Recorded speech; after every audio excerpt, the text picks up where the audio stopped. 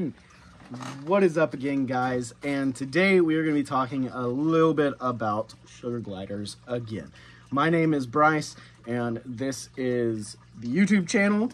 And if you're on here, don't forget to like, share, and subscribe. And definitely go check out my Sugar Daddy and Sugar Mama hoodies for your sugar gliders. And we also going to have some t-shirts rolling out soon, so don't forget to check out Shopify.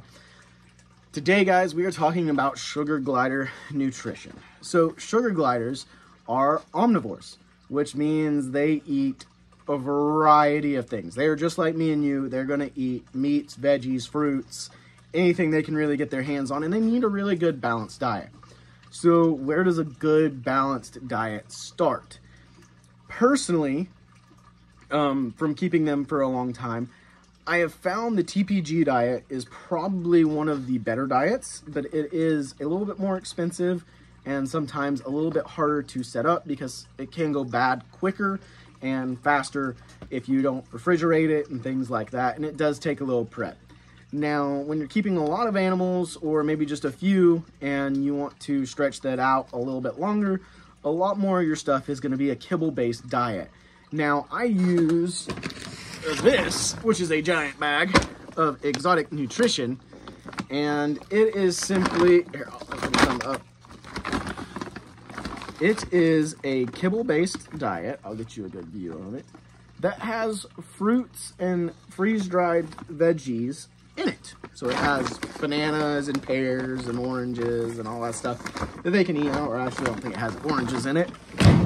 But I use that. And now I'm going to get hit on that probably by some people saying, oh, exotic nutrition stuff isn't really great for gliders. Well, let me tell you, I use it as just a base. My gliders get fed that as a base food. And then a lot of times what I do is their snacks or their treats that I give them constantly. Uh, I mean, constantly. They are getting fruits and veggies and meats from me that I cook upstairs in my house or they're they're getting the other stuff that they need. So I use that as pretty much of a base. And there are other good examples of this, and I will leave links to as much of it as possible that I can in the description below to the stuff that I've used. And personally, if you can do that, your gliders should be fine. Now, some of these people do struggle and they try to feed them and healthy. And now I've also had gliders though that I've tried to do the all natural feeding. And the problem with that is, is they immediately start losing weight, and it could be the change of diet, but they start losing weight or they don't really retain the weight that they should.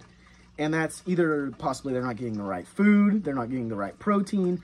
So that is why I said meal prepping some of their meals, unless you're really dedicated to it, it can be kind of hard to balance it sometimes. So having something like the kibble-based diets is great because you can feed that and then as throughout the day goes, you can give them crickets and mealworms and fruits and veggies and things like that. And it'll kind of balance out their diet and keep them nice and healthy. Um, I would definitely be concerned about a lot of what I consider live fruits, though. Um, that does seem to be an occurrence with a lot of sugar gliders is live fruits. If you give them a fresh apple, it's fine.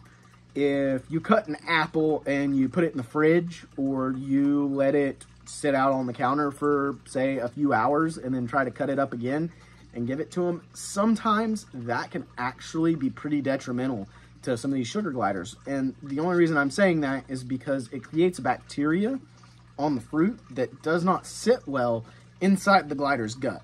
So, like I said, the kibble-based diets, along with feeding them some stuff extra, can usually be and lead to a healthier glider. I believe that's all I've got today, guys. And like I said, I'm going to leave a link in the description below. And like I said before, don't forget to check out the Sugar Daddy and Sugar Mama hoodies. And thanks again, guys. We'll see you. Bye.